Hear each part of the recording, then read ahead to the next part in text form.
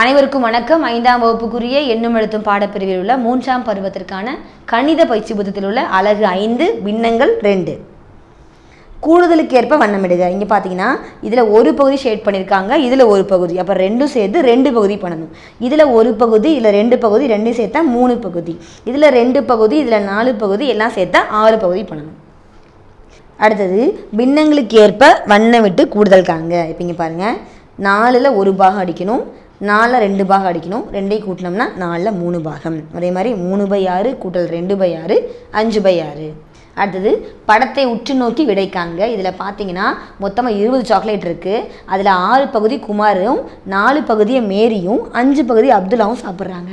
இதை வந்து நம்ம ரேஷியோவாக எழுத போகிறோம் இதை வந்து நம்ம பின்னங்கள் எழுத போகிறோம் குமார் உண்ட சாக்லேட்டின் மின்னம் ஆறு பை இருபது மேரி உண்ட சாக்லேட்டின் மின்னம் நாலு பை இருபது அப்துல்லா உண்ட சாக்லேட்டின் மின்னம் ஐந்து பை இருபது மூவரும் உண்ட சாக்லேட்டின் பின்னம்னா மூணை கூட்டும்போது பதினஞ்சு பை இருபது மீதம் உள்ள சாக்லேட்டின் பின்னம் ஐந்து பை இருபது. அடுத்து பாருங்கள் படத்தை உற்று நோக்கி விடை காண்க. இதில் பாருங்கள் மொத்தம் மூணு குரூப் ஆஃப் பீப்புள் இருக்காங்க. இதில் மாணவர்கள் அஞ்சு பேர் இருக்காங்க. இதில் அஞ்சு பேர் இருக்காங்க. இதில் நாலு பேர் இருக்காங்க. இப்போ இங்கே பாருங்கள் பசுமை குழு மற்றும் படம் வரைதல் குழு மாணவர்களின் கூடுதலுக்கான பின்னம் ஒன்பது பை பதினாலு. மாணவர்களின் எண்ணிக்கை சமமாக உள்ள குழுக்களின் கூடுதலுக்கான பின்னம் இதில் அஞ்சு இதில் அஞ்சு அவள் பத்து பை பதினாலு. மொத்த குழுவிலிருந்து படம் வரையும் குழுவினர் வெளியேறிவிட்டால் மீதி உள்ள மாணவர்களுக்கான பின்னம் ஒன்பது பை பதினாலு. மொத்த குழுவிலிருந்து சம எண்ணிக்கையில் உள்ள குழுவினர்கள் வெளியேறிவிட்டால் மீதமுள்ளின் பின்னம் நாலு பை பதினாலு. அடுத்தது படங்களை உற்று நோக்கி பின்னங்களை தசமத்துடன் பொறுத்துக ஒன்று பை பத்து ஜீரோ புள்ளி ஒன்று மூணு பை பத்து ஜீரோ புள்ளி மூணு ஆறு பை பத்து ஜீரோ புள்ளி ஆறு ஒன்பது பை பத்து ஜீரோ புள்ளி ஒன்பது. அடுத்தது பின்னத்திற்கான வண்ணம் தீட்டி அதன் தசம எண் வடிவத்தை எழுதுக.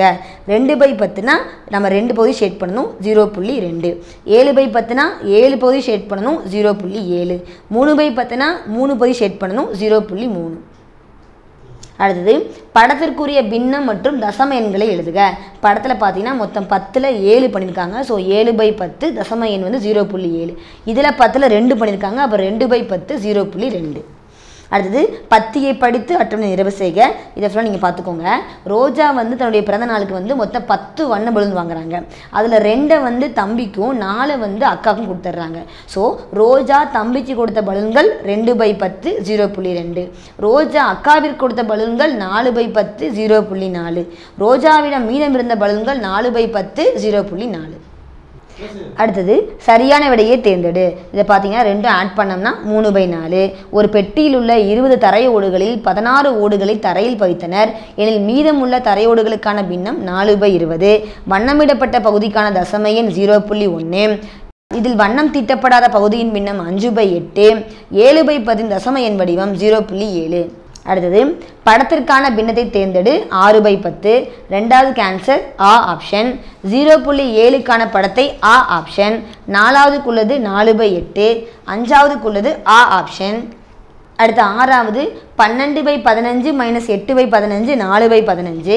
ரெண்டு பை ஆறு கூட்டல் மூணு பை ஆறு சமம் அஞ்சு பை ஆறு. ஒரு ரொட்டி துண்டினை பத்து சம பாகங்களாக பிரித்து அதில் ராஜா மூணு துண்டு ரவி நாலு துண்டுகளும் சாப்பிட்ட எனில் இருவரும் சாப்பிட்ட ரொட்டி துண்டுகளின் பின்னத்தை தேர்ந்தெடு ஏழு பை பத்து. ரெண்டு பை பத்தின் தசம் எண்ணை தேர்ந்தெடு ஜீரோ புள்ளி ரெண்டு. நாலு புள்ளி ஏழை பின்னமாக மாற்றி நாற்பத்தி ஏழு பை பத்து.